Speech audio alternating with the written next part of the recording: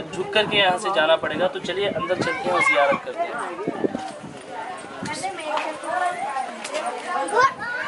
ये ओपन ही रहता है, इसको जैसे ओपन करेंगे तो इस तरीके का आपको कुछ देखने के लिए मिलेगा। और एक चीज़ की मैं आपको दिखाने वाला हूँ, एक अलग उसको सात कठोरी कहते हैं यहाँ पर लोकल में तो इसके बगल का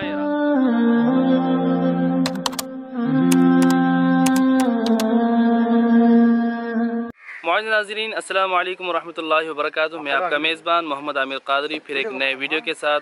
और आप देख रहे हैं वील ऑफ़ इस्लाम चैनल को। दोस्तों आज मैं मौजूद हूँ तमिलनाडु के एक बहुत ही मशहूर शहर वेलोर वेलूर में। और वेलोर जो है तमिलनाडु का जो है सेकेंड कैपिटल को कहा जाता है। तो यहाँ से आज मैं जा रहा हूँ एक इधर इधर के एक बहुत ही मशहूर दरगाह, जो बादम पहाड़ के नाम से मशहूर है, और पहाड़ के ऊपर एक अल्लाह के वली आराम फरमा रहे हैं और बड़ी शान शौकत के साथ आराम फरमा रहे हैं।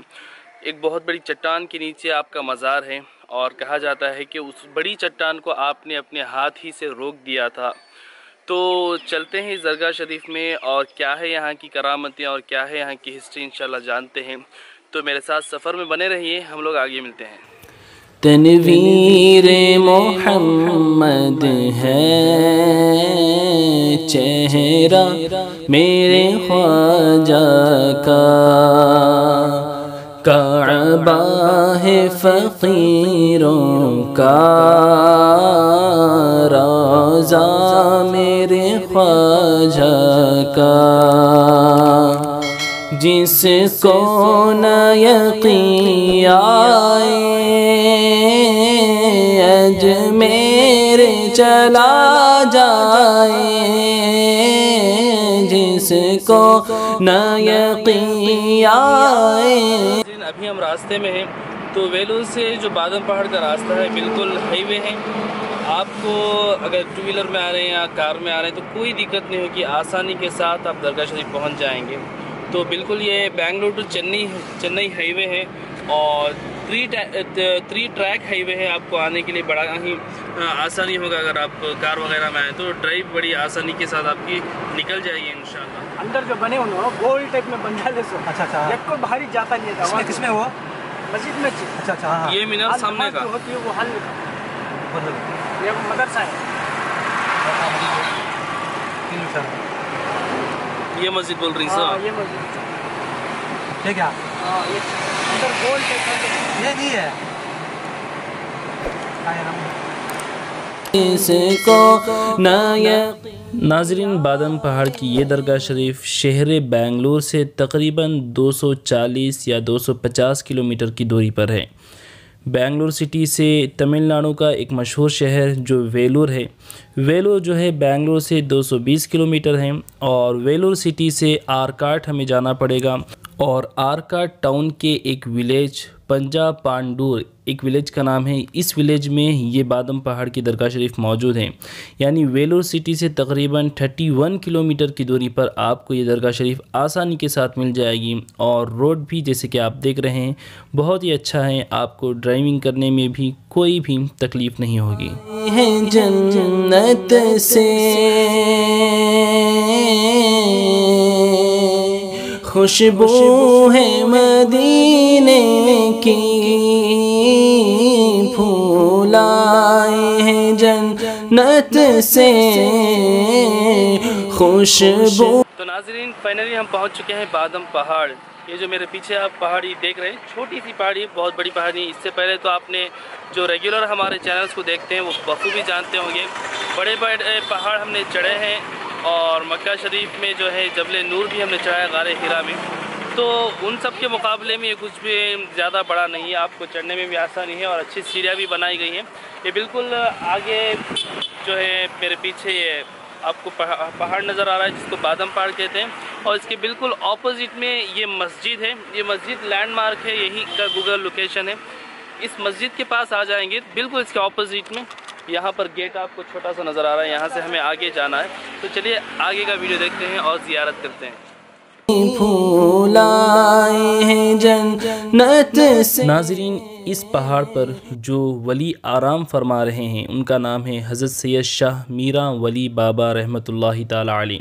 दोस्तों कहा जाता है कि ये टोटल पाँच भाई थे जो बगदाद शरीफ से तकरीबन साढ़े तीन सौ चार सौ या साढ़े चार सौ साल पहले हिंदुस्तान तशरीफ़ लाए थे दीन इस्लाम की तबलीग करने के लिए। इन पाँच भाइयों में से एक भाई जो ये बादम पहाड़ पर आराम फरमा रहे हैं, हज़रत सैयद मीरा वली बाबा रहमत ताला और दो भाई एक साथ वेलूर शहर की दरगाह जो मीरा हुसैनी, पीरा हुसैनी रहमतुल्लाहि ताला के नाम से मशहूर हैं, जिसकी ज़ियारत मैंने इससे पहले आपको करवाई है, जो कि आप स्क्रीन पर ये वीडियोस के थंबनेल देख सकते हैं। और इन दोनों वीडियोस के लिंक भी मैंने डिस्क्रिप्शन में दे रखे हैं। अगर आपने वो वीडियोस नहीं देखे तो ज़रूर देखें। बहुत ही प्यारी करामतें हैं उन दोनों अलिया कराम की, जो शेर उनकी हिफाजत किया करता था। बहुत ही प्यारी करामतें हैं, आप देख सकते हैं। और यूट्यूब पर आप सर्च करें हज़रत मीरा हुसैनी, पीरा हुसैनी दरगाह, वेलूर और साथ में व्हील ऑफ़ इस्लाम हमारे चैनल का नाम लिख दें तो आपको वो वीडियोस आसानी के साथ मिल जाएँगी। तो बहरहाल दोस्तों, इन पाँच भाइयों में से एक भाई ये हैं जो बादम पहाड़ पर आराम फरमा रहे हैं और दो भाई मीरा हुसैनी और पीरा हुसैनी। वेलूर की सरज़मीन पर आराम फरमा रहे हैं। और एक भाई के बारे में कहा जाता है कि कृष्णागिरी के सरज़मीन पर आप आराम फरमा रहे हैं, जो कि तमिलनाडु ही का एक इलाका है कृष्णागिरी और बेंगलुरु से तकरीबन 110 या 120 किलोमीटर की दूरी पर। कृष्णागिरी का शहर या टाउन कह लें, वो आपको मिल जाएगा। और पाँचवें भाई जो हैं, उनके बारे में कहा जाता है कि अजमेर शरीफ में हज़रत ख्वाजा गरीब नवाज़ के दरगाह के ऊपर पहाड़ी पर जो मज़ार हैं, कहा जाता है, आप पाँच भाइयों में से एक भाई हैं। ये थी चंद यहाँ की मशहूर बातें जो यहाँ के लोगों में मशहूर हैं, लेकिन असल हकीकत खुदा ताला ही जानता है। तो नाजरीन, हम पहुँच चुके हैं इस पहाड़ के ऊपर। आधे पहाड़ ही पर ये मज़ार शरीफ मौजूद है। जैसे कि आप मेरे ऊपर ये पूरी बड़ी चट्टान देख रहे हैं, बहुत बड़ी चट्टान है। निजगल के पहाड़ के ऊपर जो हमने चट्टान देखी थी, हज़रत करीम शाह कादरी रहमत का मज़ार उसके नीचे था। तो उस चट्टान से भी ये डबल है, बहुत बड़ी चट्टान है और इसके बिल्कुल नीचे में वहाँ पर छोटा सा नज़र आ रहा होगा, मैं दिखाऊँगा अभी। वहाँ पर मौजूद है अल्लाह के वली। तो वहाँ ऊपर यहाँ पर आने के बाद प्रॉब्लम ये है कि बंदर बहुत सारे हैं। अगर आप ये प्लान बनाते हैं कि खाना बनकर के यहाँ पे लाएँगे और यहाँ पे ऊपर बैठ के खाएँगे तो थोड़ा प्रॉब्लम होगा। चंद लोग खाएँगे चंद लोग, उनको सिक्योरिटी देना पड़ेगा डंडे लेकर के। और यहाँ के बंदर डरते भी नहीं हैं। तो थोड़ा सा ध्यान रखें बंदरों के मामले में। छेड़ने ज़्यादा ना जाएँ, बंदर को आपको भी परेशानी हो सकती है। तो चलिए देखते हैं मज़ार शरीफ कैसी है और जानते हैं हज़रत की चंद करामतें। रोज़ा मेरे ख्वाजा का। नाजरीन आप गौर किया होगा, ये जो पाँचों भाई हैं या पाँच अलिया कराम हैं, इन तमाम की हुकूमत पहाड़ों पर है। सुबहान अल्लाह, ये तमाम के तमाम के दरबार पहाड़ों पर मौजूद हैं। तो नाजरीन, ये दो मज़ारात जो आप देख रहे हैं, इसके अलावा यहाँ ऊपर जितने भी छोटी छोटी मज़ारात हैं, कहा जाता है कि ये हज़रत सैयद मीरा वली बाबा रहमत ताला के खलफा के मज़ारात हैं। वल्लम बहरहाल नाजरीन, ये एक बात खुली हकीकत है कि अकराम ये जो हैं पहाड़ों पर इनकी हुकूमत है, पहाड़ों पर आप तशरीफ़ लाए थे और यहाँ पर आपने चिल्ले फरमाए थे और ऐसी ऐसी जगहों पर रह कर के आपने चिल्ले फरमाए, खुदा की इबादतों में अपनी ज़िंदियाँ गुजारी कि कोई भी आम शख्स यहाँ पर सोचना भी नहीं चाहता कि वो यहाँ पर रहेगा और अपनी ज़िंदगी गुजारेगा। बस ये अल्लाह वालों की शान और उनका तकवा परहेजगारी है। तो नाजरीन ये है मज़ार शरीफ जाने का रास्ता। छोटा सा दरवाज़ा है। और ये बड़ी सी चट्टान के नीचे बिल्कुल ये बनाया गया है। कदीम ज़माने में जो है, जब ये मज़ार शरीफ नई नई बनी थी, ये तो ये दीवार जो है, आप देख सकते हैं, बिल्कुल नई तामीर है, खुली हुई थी। लेकिन अभी जो है जंगली जानवर वगैरह और कीड़े मकोड़ों से बचने के लिए ये दीवार बनाई गई है। शायद हवा की वजह से मेरी आवाज़ आपको सही ढंग से सुनाई नहीं दे रही, फिर भी मैं कोशिश कर रहा हूँ कि मेरी आवाज़ आपको साफ़ साफ़ सुनाई दे। तो ये छोटा सा दरवाज़ा जैसे कि आप देख सकते हैं, मेरा हाइट जो है तो आपको इसे झुक करके यहाँ से जाना पड़ेगा। तो चलिए अंदर चलते हैं और जियारत करते हैं।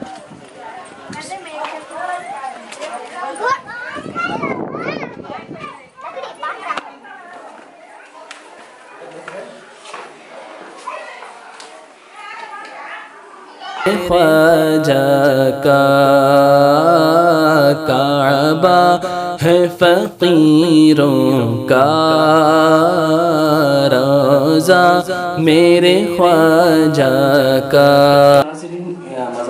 कि आप देख सकते हैं तो यहाँ पर आप देख सकते हैं, ये जो दरवाज़ा है, यहाँ पर किसी ने अपने पंजे का निशान डाला हुआ है। बहरहाल, इसको ये ओपन ही रहता है, इसको जैसे ओपन करेंगे तो इस तरीके का आपको कुछ देखने के लिए मिलेगा।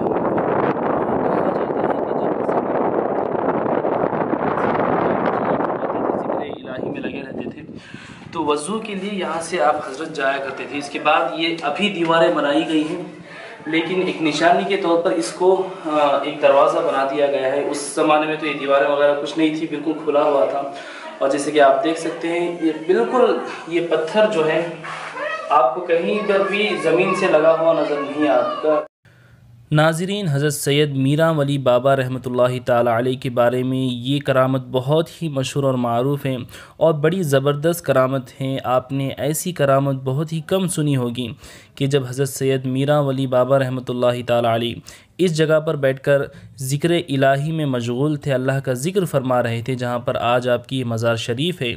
तो चंद ालिमों ने, दुश्मनों ने गालिबा व शयातीन जिन थे, जो कि हज़रत सैयद मीरा वली बाबा रहमत ताली को तकलीफ़ पहुँचाना चाहते थे।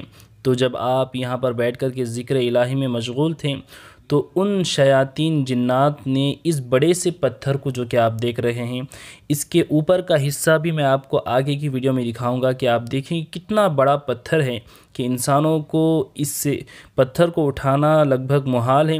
तो ज़रूर ब ज़रूर वो शयातिन जिन ही होंगे। तो उन्होंने इस पत्थर को अल्लाह के वली, हज़रत सैद मीरा वली बाबा रहमत ताली के ऊपर डाल दिया था। तो हज़रत ज़िक्र इलाही में ही मशगूल थे। तो जब ये पत्थर आप पर गिरने वाला था तो आपने एक ही हाथ से इस पत्थर को रोक दिया था। अल्लाह के वली हज़रत सैयद शाह मीरा वली बाबा रहमत ताली के एक हाथ से इस बड़े से पत्थर को रोक देने की वजह से ये पत्थर वैसा का वैसा इसी जगह पर रुक गया। जैसे कि आप अभी भी देख सकते हैं तो सालों से ये पत्थर इसी तरह यहाँ पर रुका हुआ है। और ये हज़रत सैयद मीरा वली बाबा रहमत ताली की बहुत ही अजीम शान करामत है। जैसे कि मैंने आपसे बताया था कि वीडियो में अभी आपने करामत सुनी कि हज़रत यहाँ पर चिल्ला फरमा रहे थे तो दुश्मनों ने, या फिर शैतान ने इस बड़ी सी चट्टान को, अब ये कोई इंसान की बस की बात नहीं है ज़ाहिर है कि इतनी बड़ी चट्टान इंसान इसको ढकेल सके। ज़ाहिर है कोई शैतान जिन होगा जो इतनी बड़ी चट्टान हज़रत पर डालना चाह करके चाहता था और आपको नुकसान पहुंचाना चाहता था। तो कहा जाता है कि यहाँ पर हज़रत ने जो है अपने हाथ की हथेली लगाई थी और इसको रोक लिया था सिर्फ़ एक हाथ से। लेकिन अभी ये जैसे कि पॉइंट वगैरह मार पॉइंट वगैरह डाला गया है और वो निशान दिखना बड़ा ही मुश्किल है। चंद लोग कहते हैं, यहाँ पर निशान है। चंद लोग यहाँ पर बताते हैं चंद लोग यहाँ पर बताते हैं। लेकिन बहरहाल ये करामत है मशहूर यहाँ के बारे में कि हज़रत ने अपने हाथ से इस चट्टान को रोक लिया था।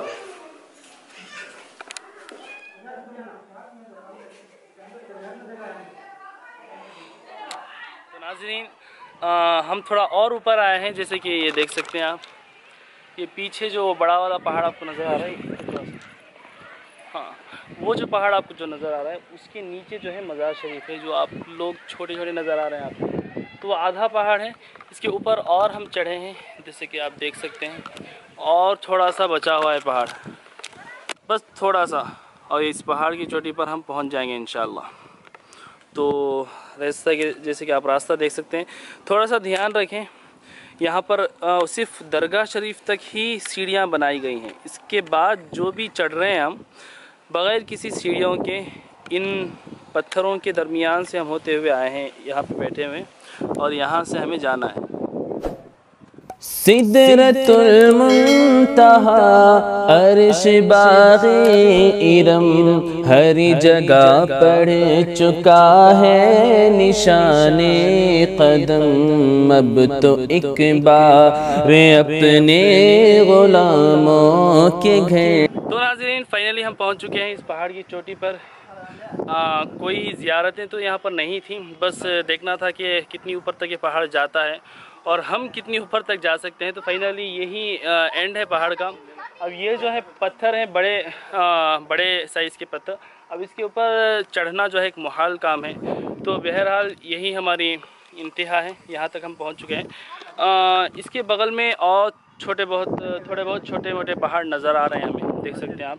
बड़ा ही खूबसूरत नज़ारा यहाँ से। तो यहाँ पर आए तो थोड़ा सा अपनी सेफ्टी का भी ख़ास करके ध्यान रखें, थोड़ा सा देखते हुए आएँ। एक और ख़ास चीज़ यहाँ पर हमें देखने के लिए मिली, जो कि इस पहाड़ पे नहीं, इसके बगल वाले पहाड़ पर जब यहाँ पर आएँगे तो रास्ते में वो छोटा सा पहाड़ है इतना बड़ा तो नहीं। है वहाँ पर आपको दूर नज़र आ रहा होगा। उसके ऊपर बहुत ही पुरानी और तारीख़ी माशाल्लाह मस्जिद बनाई गई है। तकरीबन देखने के लिए तो ऐसा लगता है कि पचास सौ साल से पुरानी ही मस्जिद होगी वो। आ, हो सकता है इससे भी ज़्यादा पुरानी हो। मैं आपको कोशिश करता हूँ जूम करके दिखाने की। आप इसको देख सकते हैं।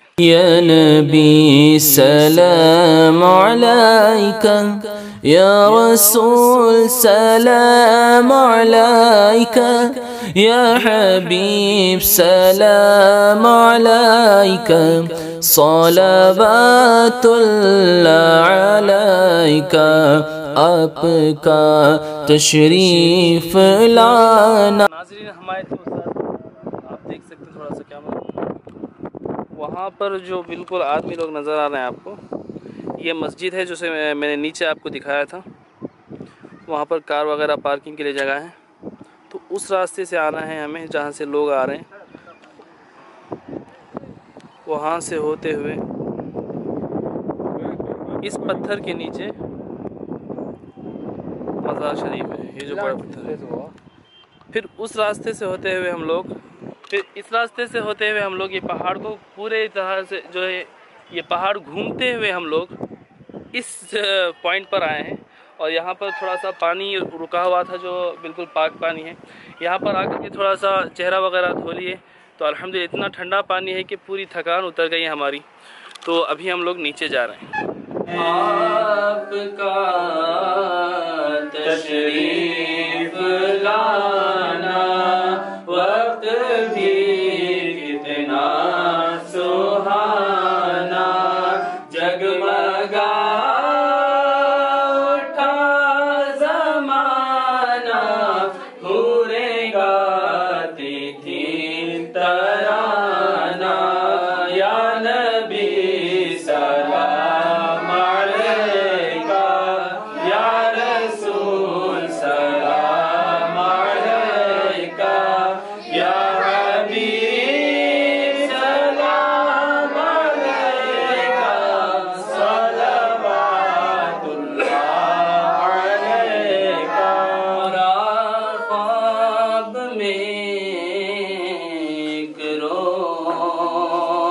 रोज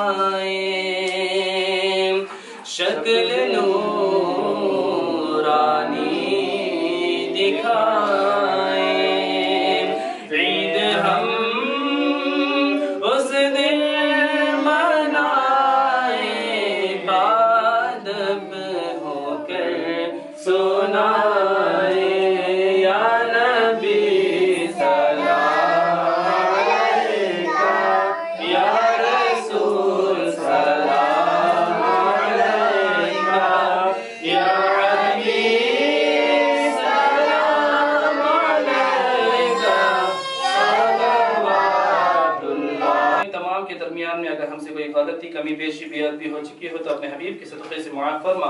इसके अलावा जितना कुछ पढ़ा गया है तमाम का सब सबसे पहले नबी करीम सल्लल्लाहु अलैहि वसल्लम के पास हम पेश करते हैं कबूल फरमा। तो नाज़रीन जैसे ही आप आते हैं एंटर होकर के ये सीधा आपको जाना है दरगाह शरीफ के लिए।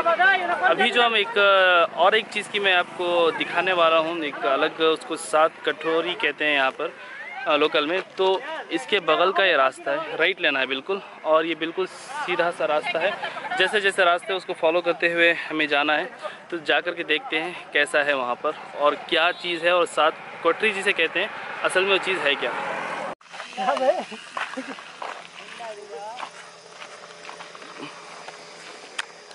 तो ये है सात मेहराब, चलिए देखते हैं अंदर का हिस्सा कैसा है। नाजरीन, इस दरगाह शरीफ में आने का लोकेशन मैंने इस वीडियो के डिस्क्रिप्शन में भी दे रखा है और नीचे कमेंट बॉक्स में भी मैंने इसका लोकेशन जो है पिन किया हुआ है। उसकी मदद से आप आसानी के साथ यहाँ पर हाज़री दे सकते हैं। जैसे कि नाजरीन, मैं यहाँ पे मौजूद हूँ। इसको यहाँ की लोकल भाषा में सात खोटरे कहते हैं। क्या सात है किस हिसाब से कहते हैं पता नहीं। लेकिन सात मेहराब है, समझिए, एक छोटे से सात कमरे हैं। ऐसे सात दहलीजें बनाई गई हैं, जैसे कि आपने बाहर से देखा तो ये अंदर का हिस्सा है।